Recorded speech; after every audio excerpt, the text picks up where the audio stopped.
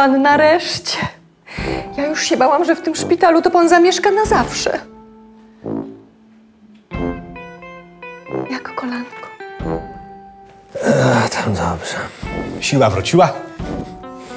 Spróbujcie wypiąć, to zobaczysz, jak noga pracuje. Jest zdrowie, to od razu i humor dopisuje. To najlepszego sortu. Proszę.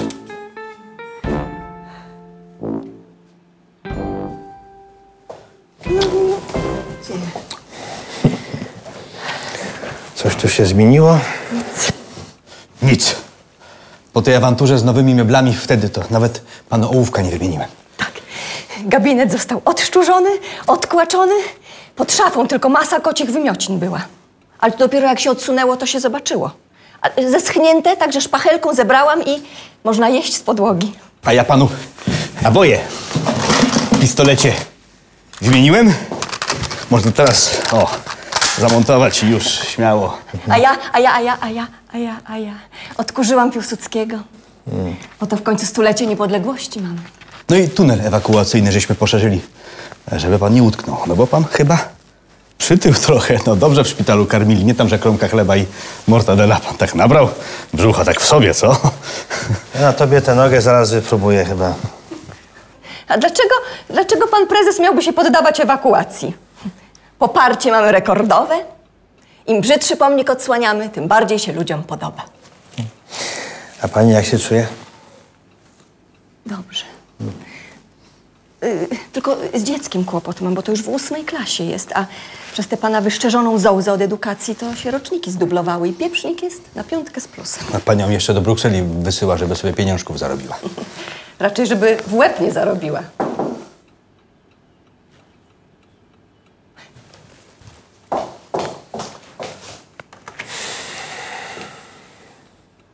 O Jezu.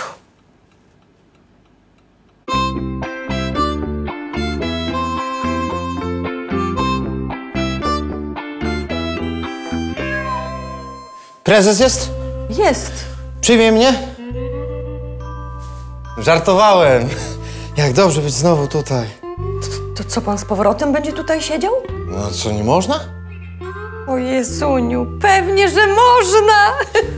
Niech pan tu sobie siedzi do końca świata.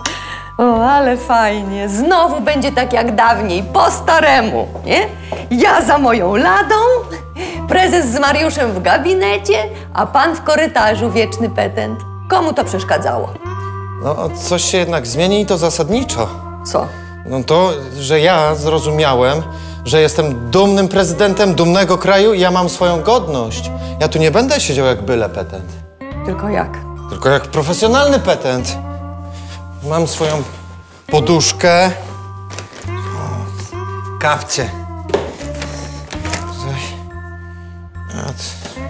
Słówka. Words. To, to, to, koc. Nawet lampę swoją wziąłem. Kto swoje nosi, o cudze się nie prosi. Ależ się pan mości. Jak Mościcki, ja tu będę siedział na tym przedpokoju jak panisko, jak prezydent USA. Wszyscy będą stali, tylko ja będę jeden siedział. Agata? E, tylko obcinaczki do paznokci to chyba w pałacu zostawiłem.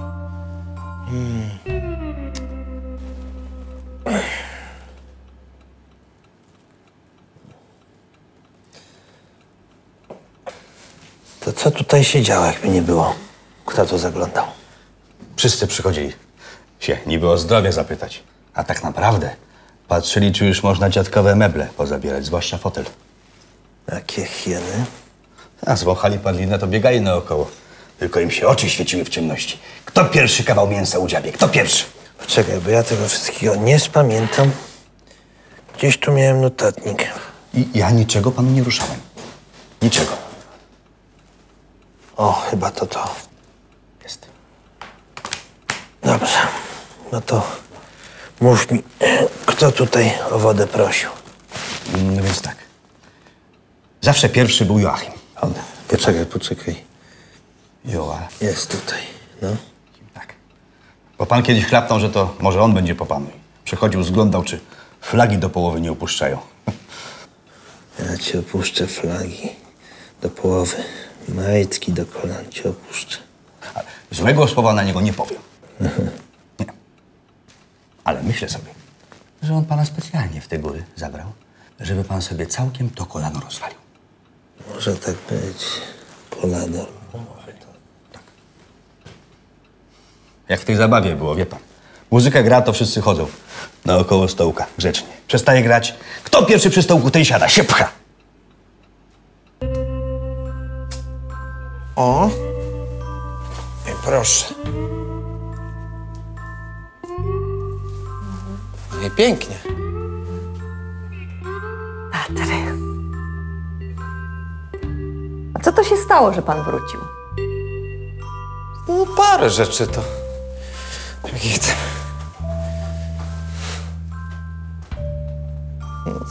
Z żoną bywa różnie, to się w domu nie chce siedzieć. Mimo, że ten dom to pałac. A, widziałam, jak pana tam za łokieć trzymała w tej szkole, żeby pan tak nie krzyczał. Nie rozumie o co chodzi, a się wtrąca? Mateusz też tak łaził. Oczywiście. Ja go nawet lubię, to taka, taki miły wilczek. Filczek. Filczek to on był. Teraz to on jest wilczysko. Pazury mu rosną, zęby, wie pan, sierść taka dziwna. Nawet jak pan do niego strzeli tymi nowymi nabojami, to tylko się kula po tej sierści ześlizgnie. Uda się ze... Naprawdę tak myślisz? Tak myślę, to tak mówię. Pan uważa, że on panu będzie ciągle przez tę obręcz skakał, jak pan mu każe, a tu nie. On panu skoczy, ale do gardła się wgryzie. Dobrze. Mów mi, Mariusz, wszystko, co wiesz Tak jest. i wszystko, czego nie wiesz, też mi mów. Jestem dla pana jak wiadomości dla Polaków. Rzetelne i uczciwe źródło sprawdzonej informacji. Co to się dzieje w tej pana kancelarii? Też jakaś kotłowanina. Z kolei to ja nie wiem o co chodzi. No już czwarty rzecznik. No. Tam się jakieś frakcje porobiły. Kłócą się jedni ze wszystkimi, kto jest ważniejszy. No ja wchodzę, się pytam, co się dzieje? No ni- nic. Ja zamykam drzwi i znowu to samo. Tutaj nie do pomyślenia. To prezes warknie, to przez tydzień ze strachu nikt nic nie mówi. Ale jeszcze jedną kadencję to bym zmęczył. No a gdzie lepiej tego przypilnuję niż tu? No jakie to oszczędności są? Przecież jak prezes jakąś ustawę skrobnie, to po co niby ma się z nią pchać do pałacu, do pana na Krakowskie, przez całe centrum zakorkowane, benzynę palić, ochrona, policja na motorach? Jak pan to może spokojnie podpisać po drugiej stronie drzwi? Tanie państwo. Tatry. Tatry wysokie.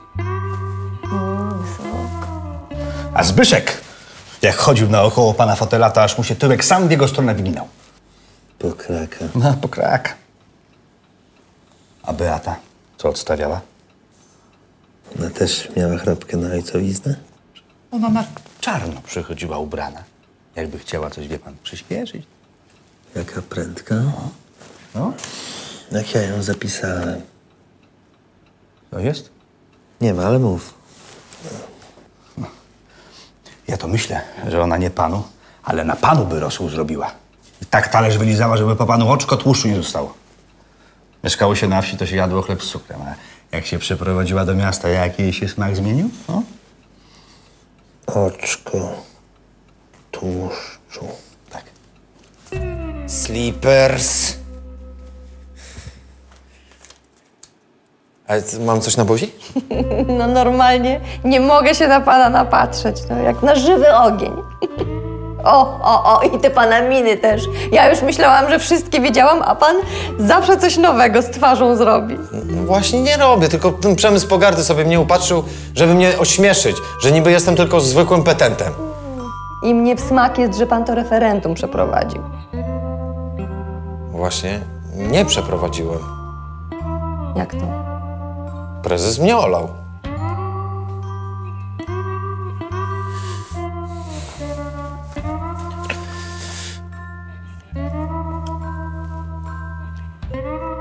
The chairman. The chairman. Prezes. A, The chairman. Chyba muszę do ubikacji, przepraszam. Jejku, jejku. Antoni? Przyjechał z tymi swoimi misiami, furami takimi wielkimi. Wyglądali jak mafia sycylijska. A ojciec chrzestny z nimi był? Był. Ale nie wysiadł.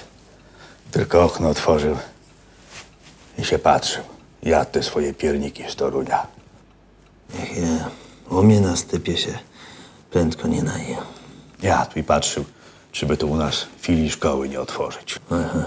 Halo, jeszcze nie teraz. Ja jeszcze trwam. No dobrze, zróbmy sobie przerwę, a ty zrób mi herbatę. Filię chciał sobie otwierać.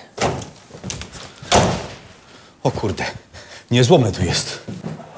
O, a on tu zaglądał? Zaglądał, ale cała reszta go obszczekała, się pokręcił i nie podszedł.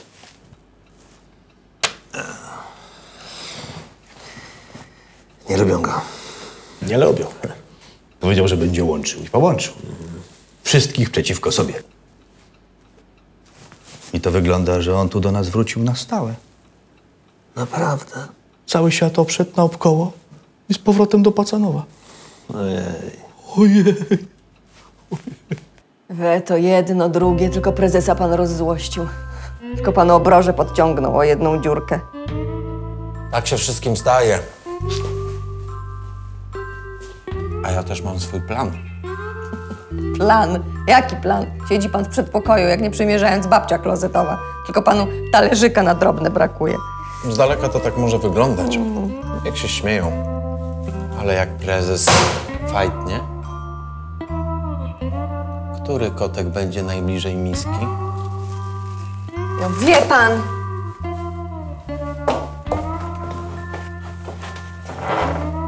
Odwieczne prawo natury.